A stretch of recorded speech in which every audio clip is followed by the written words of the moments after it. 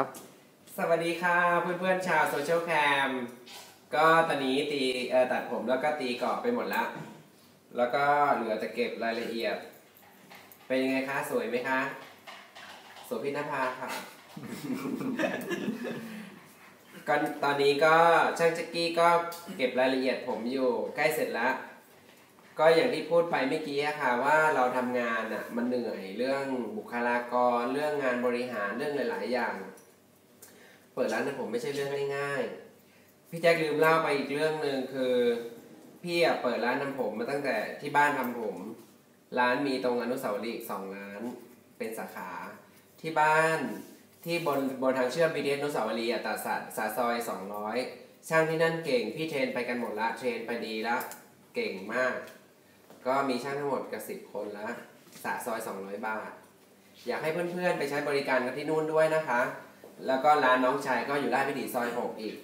อยู่ติดกับเซเว่นน่ะ ลูกค้าเยอะ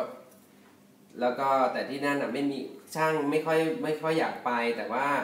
ลูกค้าก็เยอะเหมือนกัน ช่างไม่อยากไปทำงาน เพราะว่าหนึ่งไม่เจอสังคมไม่อยากอะไรอย่างเงี้ยนี่คือปัญหาของการเปิดร้าน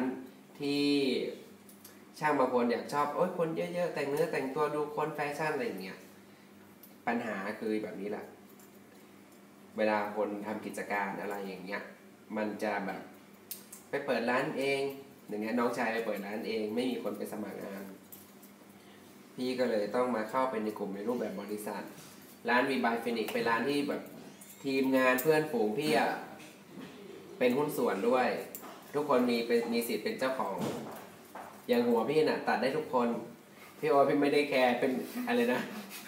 จริงไหมพี่ให้ตัดทุกคนเลยนะ พี่บอกว่า ตัดไปเถอะพี่อะสวย พี่ไม่แคร์นะหัวจะแหว่งจะอะไรพี่ไม่แคร์ตัดได้ตัดเลย พี่อะสวยอยู่แล้ว ถ้าน้องออฟเล่นหูพี่หายไปน้องออฟระวังนะคะ